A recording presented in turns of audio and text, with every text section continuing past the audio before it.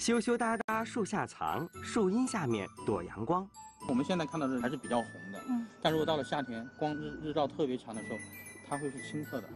脆弱娇嫩味清甜，吹弹可破汁水多。脖子我还没有用全力，就这样这是半个，因为掉了半个。不高不矮，不胖不瘦，个头还特别大。给你展示一下啊，我手中的神器，知道这是干什么用的吗？今天的生财有道，咱们一起到海南三亚的莲雾小镇看一看。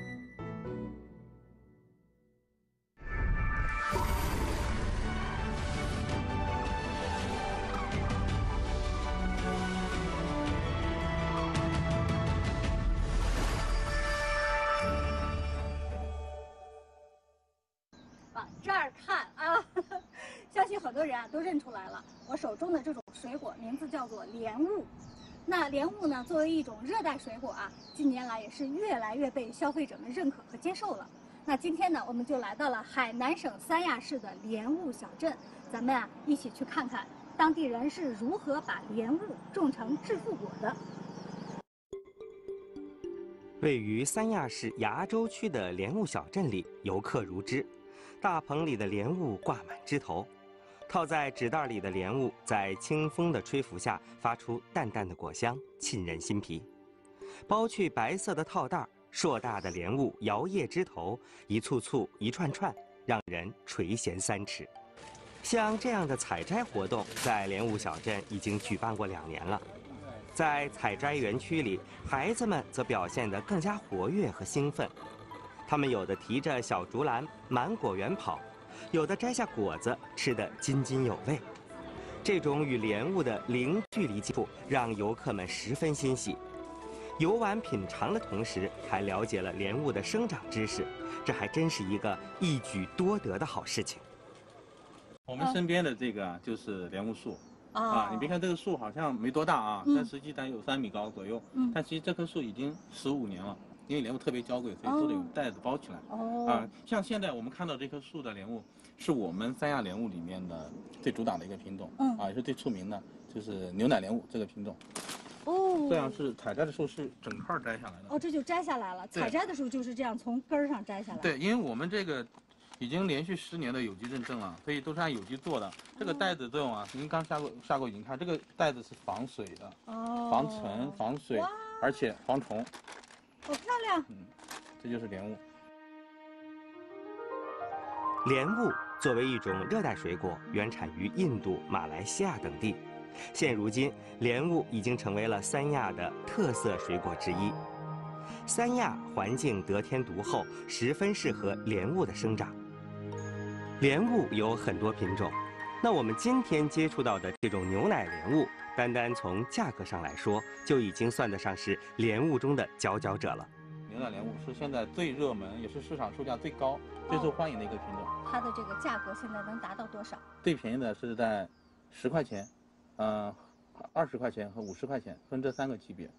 最便宜的十块钱一是个，十块钱一个，对，都是按论个的，个儿卖。对，论个的，嗯我的天，十块、二十，还有五十，还有五十，它还真是一个就是价钱比较贵的水果了。那这个十块、二十和五十是嗯以什么来区分的呢？嗯，是这样的啊，它其实能达到我们这种商品果的，都是我们精挑细选过的，嗯啊，都是品质特特别特别好的了，包括口感也和它的成熟度都最好的了。嗯然后根据的后期是根据它的大小、个头大小来进行个头区分。哦对哦，嗯呃，那像咱们现在摘下来的这些，这都分别是什么等级的？像我手上这一串儿，嗯，嗯，按大小的话，它应该是中间级别的，二十块钱的那种级别的。二十块钱一个，，对，二十块钱一个级别的。好贵哦啊，对，为什么这么贵哈？嗯我跟大家讲讲。你看这个是什么？开裂了，很成熟了吧？开裂了。是吧？就裂，嗯就是因为熟度足够了，所以就撑裂了，对是吗？因为它的甜甜度过高或者它的水分太足的话，嗯它也会容易爆裂、嗯啊。而且莲雾是特别容易裂的。你看我这一串儿里面，可能裂了有三个，这个裂掉了，对把它，六摘下，来。对你摘下来看，嗯应该裂到裂掉了三个。这个像这样一点点裂的都是不能作为商品果的。哦，它有了这个小小的裂缝，咱们就不能够当成好的这个产品向外销售了。啊、就是它的裂缝对于它的口感上是没有任何影响的，嗯只是影响它的运输。晶莹剔透而又脆弱娇嫩，味道清甜而又不易保存运输。正是因为牛奶莲雾身上这样鲜明的特点，才导致了它不菲的价格。听徐秘书长这一解释，我们的记者也觉得牛奶莲雾确实贵有贵的道理。那等于这一串，刚才咱们摘摘下来六个，现在这三个都不能够当成你刚才说的二十块钱一个去卖了。对对嗯，对那只有这三个是二十块钱一个。对对，哦哟，好可惜。是不是特别可惜？整个莲雾这个产品，它都不属于后食性的产品。后食性什么意思呢？我打个比方，比如说香蕉或者芒果，嗯我们摘下来以后，它可以把它放熟，后期嗯可以把它催熟。嗯，但是这个呢，你摘下来的时候什么样，它一直到烂，它就是什么样了。口味不会随着时间的推移增加，对对，所以必须要完全成熟才能采摘。摘下来就是最佳口味了。对对对对对哦，对，摘下来那一刻是最好吃的时候。所以咱们就只能是让它特别成熟的时候才能摘。对对对。哦，了解完牛奶莲雾的价格，我们的记者又对莲雾果树提出了新的疑问。莲雾挂果全都是在树下面，是吗？。对对，这不会影响它的采光吗？嗯，因为莲雾是比较怕阳光的。你像我们现在看到这这个这个，它的颜色还可以，对不对？嗯嗯还是比较红的。嗯，但如果到了夏天，光日日照特别强的时候，它会是青色的，完全是青色的，哦，太阳一晒它就它会褪色了，对，它是褪色了。所以说，别的你看它水果是平时都是逆向而行的，对对对，它都是藏在树里面的。哦所以我老是说嘛，莲雾特别娇贵，而且特别高贵。嗯，就是你站在外面看的时候，你可能看不到有多少莲雾在里面对，但你要蹲下来，蹲到树底下往上瞧，你就看到了，原来里面藏着很多，都在里面藏着 对，都在里面。莲雾作为一种要让人蹲下来仰视才可见到的水果，说它娇嫩，可是一点儿也不过分的。莲雾到底有多娇嫩？徐秘书长说，可以用吹弹可破来形容。我们所有的工作人员必须要戴手套的，哦因为指甲不想一碰就是啊，就是一个伤痕，对，然后呢又特别脆，随便一弹它就就破掉了，嗯，是不哟是就破掉了。啊，然后嗯就是让我们正常这种用手捏捏就完全就，然后哇挤出很多水了。哇，啊我这我还没有用 全力，就这样这。是半个，因为掉了半个，这是半个的出汁率是吧？是不是哦，嗯，特别清。爽，嗯，哎呀嗯，，还可以捏。如果用榨汁机的话，它的这个，嗯、留下的这个就特别特别少，哦水特特别多。哦嗯天哪，如此娇嫩而多汁，难怪牛奶莲雾受到了如此多消费者的认可。尽管价格不便宜，但是来到莲雾小镇的游客依然是没有空手而归的。由此可见，现代人消费观念的转变，以及对于牛奶莲雾性价比的认可。咱们莲雾小镇啊，嗯种植的面积能达到多少？呃，我们嗯、这个规划的是一万一千亩，嗯，现在已经种植下去并且产果的已经有一千多亩了。嗯，1000一千多亩，，对，一千多亩，嗯，而且这一千多亩里面呢，涵盖了现在整个市场主流的呃莲雾品种。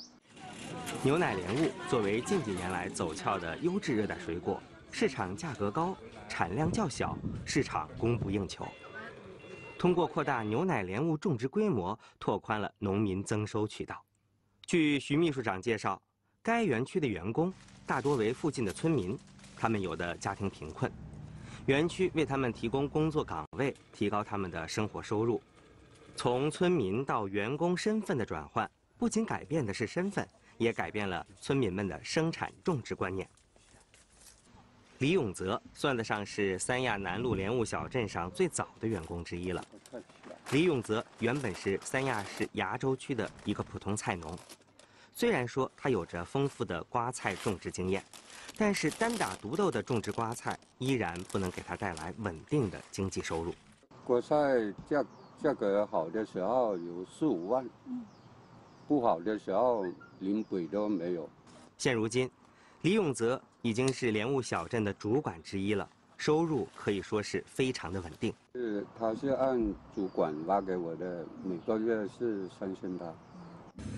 不仅收入稳定，李永泽的工作也可以说是能够轻松胜任。说起这个改变了他们生活的牛奶莲雾，韦少努也是同样的深有感触。虽然韦少努来到三亚南路莲雾小镇的时间不长，但是他现在和李永泽一样，也是主管之一。就干了两年就干上主管了，两年多，两年多。技术技术好啊。哦。韦少奴以前在外面打工，日日夜夜的奔波，并没有给他带来满意的收入。一年四万三万嘛，也收入很少。嗯，现在呢？现在一年有八万了。哦，那还是这个收入还是增加了不少的，是吧？对呀。啊，挺满意。嗯。三亚南路莲雾小镇采取公司加协会加基地加农户的联合模式，生产种植一万亩莲雾，打造出了国家地理标志品牌三亚莲雾。二零一四年以来，为贫困农户发送莲雾种苗十万多株，举办多次莲雾技术培训，采取公司加农户的模式。让长山村二百二十户农户和崖州区的一百三十四户贫困户采取土地和现金两种模式入股，农户既可参与生产管理，又有工资和保底分红，同时优先吸纳贫困户就业，每年工资在三万元左右。现在莲雾一共有多少品种呢？其实莲雾品种挺多的，那全球有一百多个品种。一百多个品种哦，太惊奇但是市场上就比较主流的嘛，口感比较好的，其实就是集中在那三四个品种。嗯，你像我们市场经常见到的黑金刚，黑金刚啊是最主要的，还有一个叫泰国的大叶种也是比较多的。嗯，然后另外呢，像比较高端的就是我们三亚莲雾里面的牛奶莲雾。嗯，但是这些品种啊，源头追溯的话，都是从国外引进的品种，又经过改良的，都不是咱们当地的。对对对，这样。那现在有没有土生土长的品种？其实我们公司也是，嗯，经过了差不多十年吧，十年时间也研发了自己的新的品种，就是土生土长品种，而且呢，刚好是今年是首次上市。今年第一次有了我们土生土长的，属于三亚的，属于海南的，属于我们中国自己的这个莲雾品种。对对。叫什么呢？我们暂时命名南路一号。这就是首次跟大家见面的中国莲雾品种南路一号。它跟其他的国外引进品种又有哪些区别呢？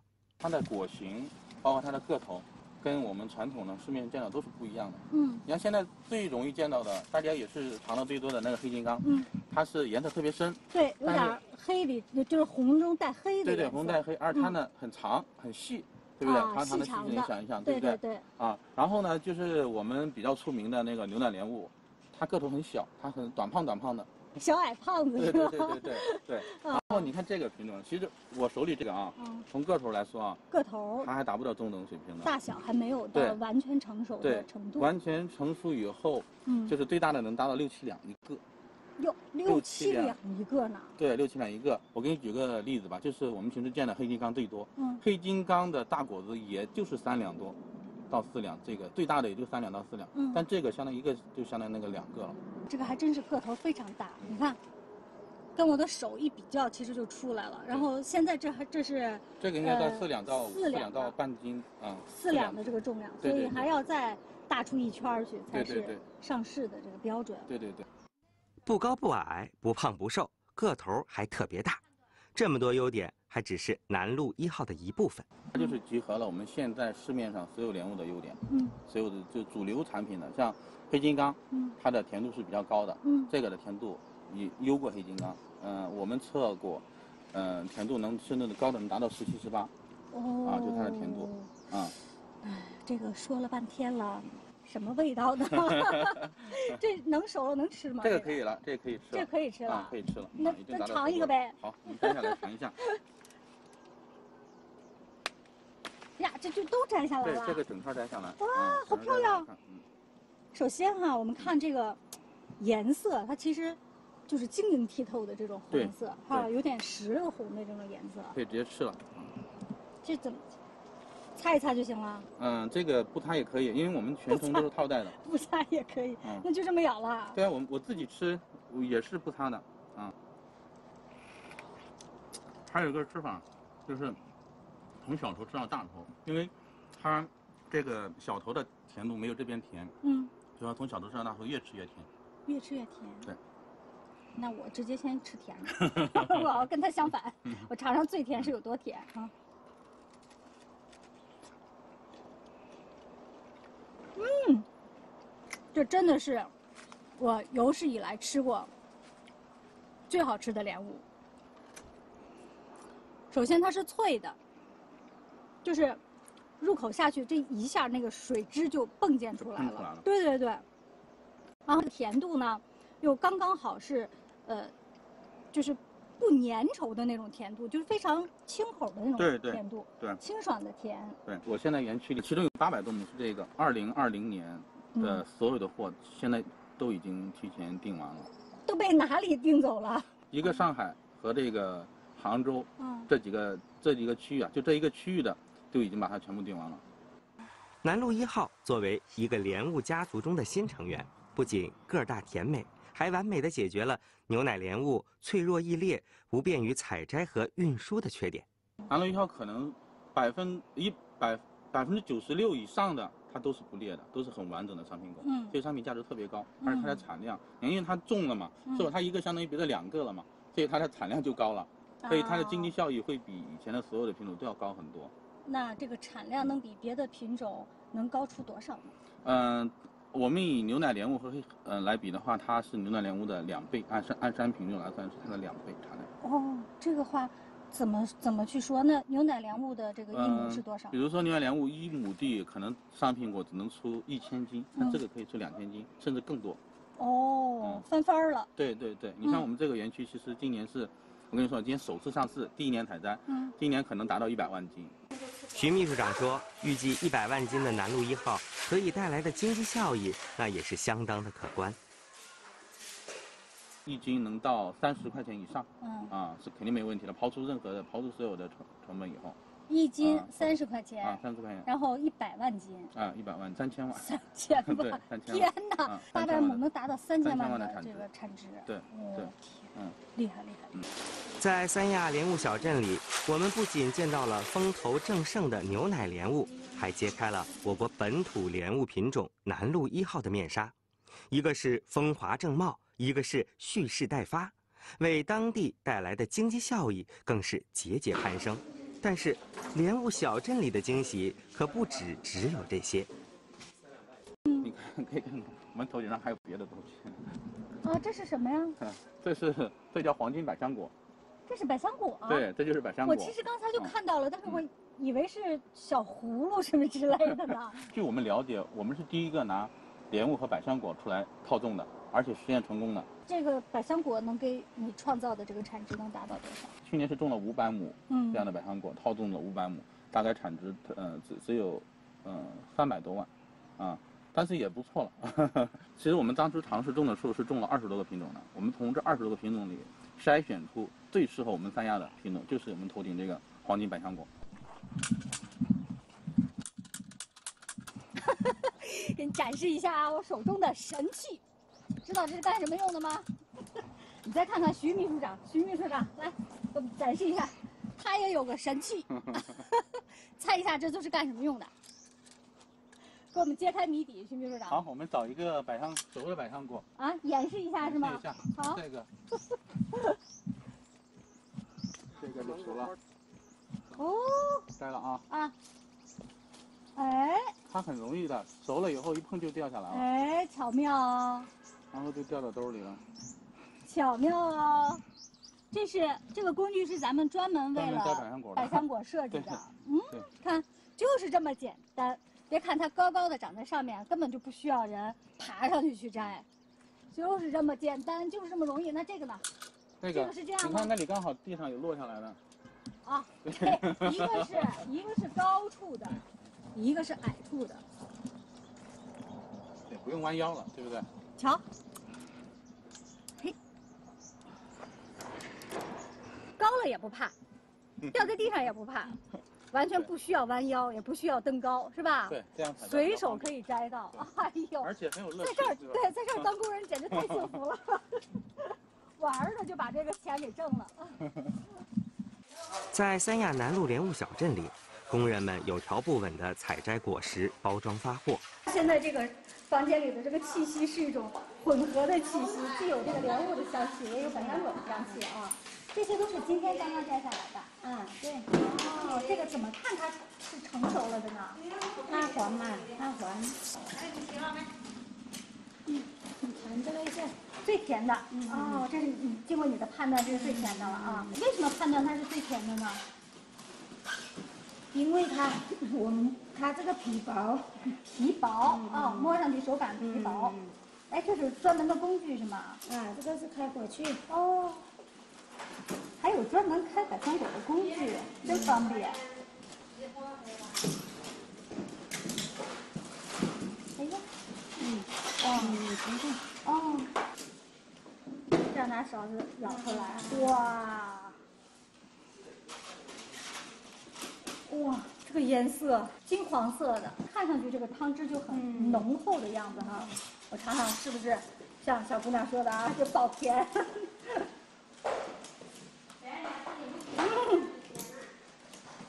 哇，太甜了，太甜了，太甜了，一点酸头都没有啊！无论是莲雾还是百香果，都是依靠订单来进行销售的。那是不是每天都对，每天都有。啊，量多的话我们就打多，量少的话我们就打少。那看看订单来。那你们这每天其实都不闲着啊，摘果、包装、发货哈。嗯嗯。那你是咱们这儿的这个主管是吗？啊啊，对。负责哪一块工作呀？包装这这方面的啊，包装这方面的。嗯，嗯你一共拿了多少？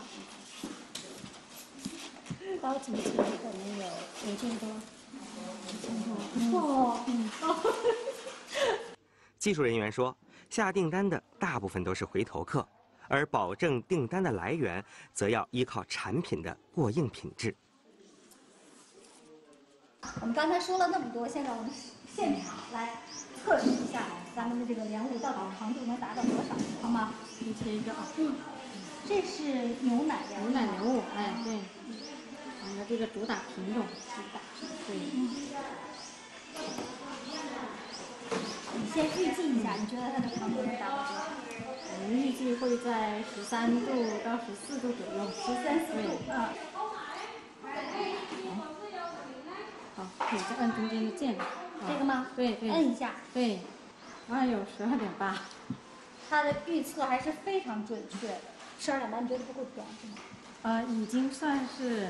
比较甜，比普通的莲雾还要再甜许多了。就是自己吃的口感里面已经感觉比较明显了。哦。技术人员给我们透露了一个秘密，他们的莲雾之所以这么好吃，那可是有秘诀的。